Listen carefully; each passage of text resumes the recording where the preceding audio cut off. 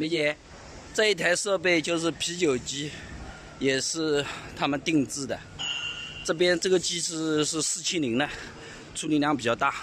那边是电箱，这边电机，旁边这个是进料棒，这个是流量计，然后这边是进料管，这个是出料管，所有的。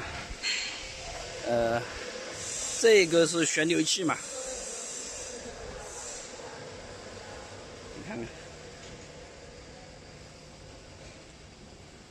一会儿车子要来了，这个就是给安徽紫金啤酒的，安徽紫金啤酒的。